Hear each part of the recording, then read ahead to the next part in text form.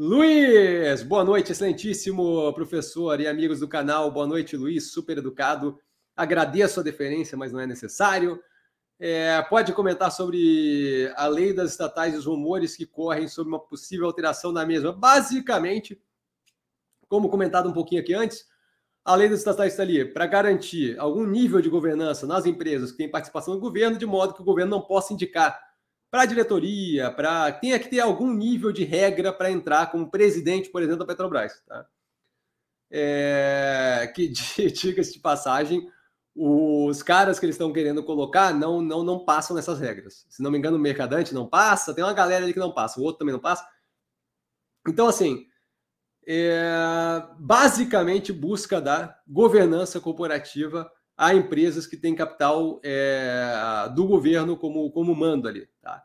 É, para justamente evitar que você coloque qualquer Joãozinho para fazer o que você mandar dentro daquela na diretoria daquela empresa. Por quê? Porque se o cara tem um nível de pré-requisitos que custaram para ele para construir um nome, a tendência dele fazer qualquer asneira para te agradar é consideravelmente menor, certo?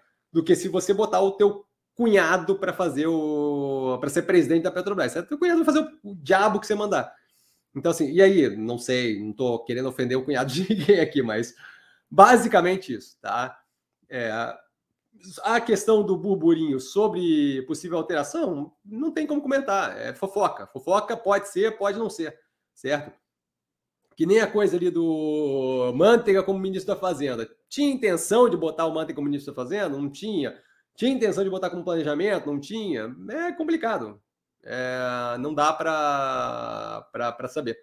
Tá? Então, assim, basicamente, essa é a, basicamente essa é a questão do, do que está acontecendo ali. Não, não, não perderia tempo com o bafafá, com o burburinho, mas a lei das estatais visa garantir governança corporativa para as operações que têm mando do governo.